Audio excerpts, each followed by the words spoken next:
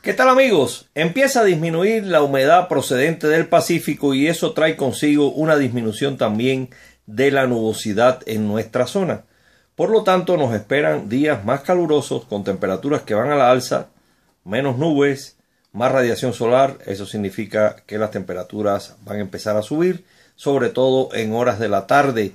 Ya en la zona metropolitana empezarán a registrarse las temperaturas por encima de los 30-31 grados en otras zonas del estado, como es la zona norte, arribarán a los 34, 35 grados, allá en Bolaños, también en Colotlán, y en la zona sur alrededor de los 32 grados. Esto va a empezar a subir gradualmente a partir del día de hoy, a medida que esa humedad del Pacífico comience a ceder terreno, comience a disminuir.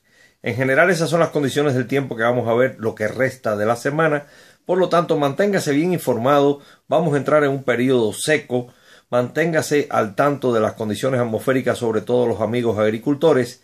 Y para comunicarse y para estar a día con la información meteorológica, suscríbase en mi página de YouTube. Ahí tendrá un video diariamente de las condiciones atmosféricas en nuestro estado de Jalisco. Y también nos vemos a la 1.15, 2.15, 3.15 en GDL Contigo, Guadalajara, Televisa, Canal 4.